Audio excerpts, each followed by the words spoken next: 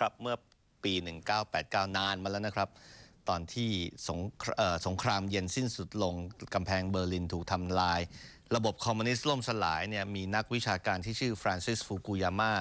ของอเมริกานะครับ เป็นชาวญี่ปุ่นอเมริกัน เป็นคนอเมริกันแหละครับ เชื้อสายญี่ปุ่น เขียนหนังสือไว้บอกว่าเป็น end of history เป็นจุดจบของประวัติศาสตร์ แล้วต่อไปนี้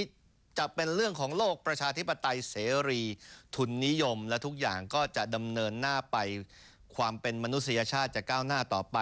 แทบจะพูดเลยว่าจะอาจจะไม่มีสงครามแต่ฟุกุยาม่าก็ผิดโดยสิ้นเชิงนะครับ เพราะว่าในที่สุดแล้วก็เกิดเหตุการณ์ 9-11 นะครับ เกิดการก่อการร้าย แล้วก็ยังมีสงครามตามจุดต่างๆ อยู่นะครับ ถึงจะไม่เป็นระดับสงครามโลก แล้วก็เชื่อว่าไม่คงไม่เป็นนะครับ แต่มันก็ทำให้เกิดความไม่มั่นคงในโลกขึ้นได้ วันนี้ก็มี จุดที่เป็นจุดร้อนนะครับ ภาษาอังกฤษเรียกว่า hot spot เนี่ยนะครับ ในโลกนี่อยู่ 2-3 จุด จุดหนึ่งวันนี้เกิดขึ้นอีกแล้วครับ เอาใกล้ๆบ้านเราก่อนก็แล้วกันที่เกาหลีนะครับ จริงๆ ยังไม่ถึงก็เรียกว่าเป็นอะไรที่รุนแรง แต่มันก็ทำให้เกิดเป็นสัญญาณที่มีความน่าเป็นห่วงอยู่พอสมควรนะครับ เพราะเกาหลีใต้ครับโสมขาวเนี่ยนะครับ ตามข่าวที่เขาพาดกันเนี่ยโสมขาวซ้อมยิงกระสุนจริงนะครับ ก็คือพักเออละ รัฐบาลเกาหลีใต้ไปซ้อมยิงกระสุนจริง อยู่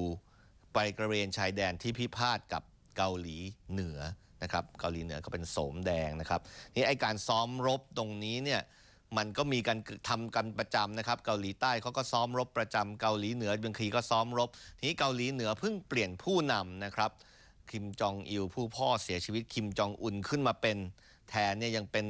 เรียกว่ายังเด็กอยู่นะครับ ถ้าเปรียบเทียบกับสังสงคมในโลกคอมมิวนิสต์ซึ่งผู้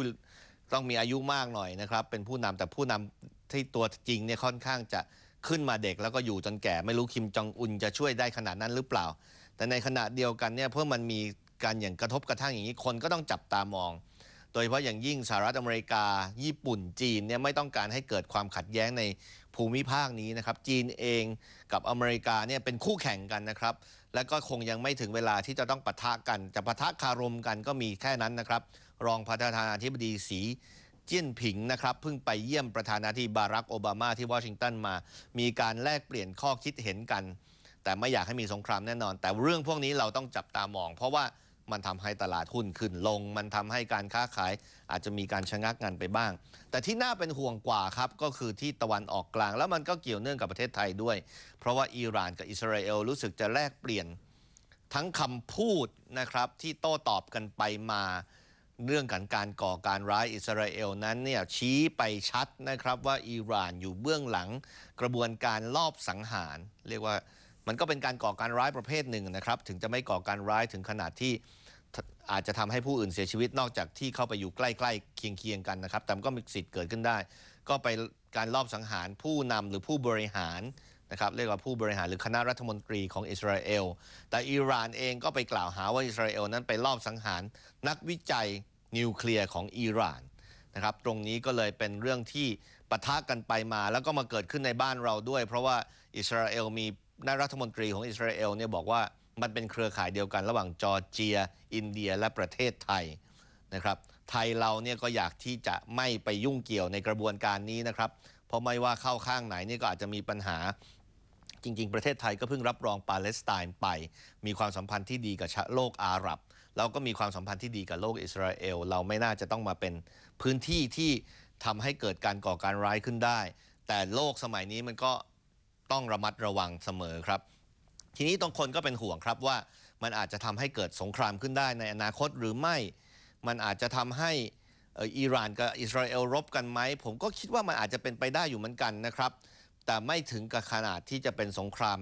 ที่ใหญ่ เพราะว่าทุกคนต่างคนต่างก็เกรงกันอิหร่านก็ยังเรียกว่าเป็นประเทศที่ใหญ่ ไม่ได้อ่อนแอเหมือนอิรัก ยุคสดามฮุเซนตอนหลังๆ ที่อเมริกากล้าที่จะบุกเข้าไปนะครับ ตรงนี้เนี่ยก็คงต้องจับตามอง เพราะมันกระทบครับเนื่องจากอย่างเช่น อิหร่านตอนนี้ก็ไม่ส่งน้ำมันให้กับอังกฤษและฝรั่งเศสแล้ว แล้วก็ยังมีการทางอเมริกาเองก็พยายามที่จะยังคงการคว่ำบาตรอิหร่านอยู่ ตรงนี้ต้องมองกันไปเรื่อยๆครับตะวันออกกลางจะเป็นประเทศเป็นภูมิภาคที่ร้อนแรง แล้วก็จะมีผลกระทบต่อประเทศไทยแน่นอนในเชิงทั้งการทูตความมั่นคง แล้วก็การค้าการลงทุน ที่เราเองก็ต้องสร้างภูมิคุ้มกันนะครับ สำหรับประเทศเราครับ และนั่นก็คือถอดสลักข่าวสำหรับวันจันทร์ที่ 20 กุมภาพันธ์ 2555 วันนี้นะครับ ท่านผู้ชมมีข้อคิดเห็นประการใดนะครับ อย่าลืม SMS 4221980 ส่งมาได้นะครับ หรือเข้ามาที่ Facebook ของออรายการนะครับ หรือว่าเว็บไซต์ของ bangkokvoice.com ครับสำหรับวันนี้ผมสุรนันท์เวชชาชีวะขอลาท่านผู้ชมไปก่อน พบกันใหม่ในโอกาสหน้าครับ สวัสดีครับ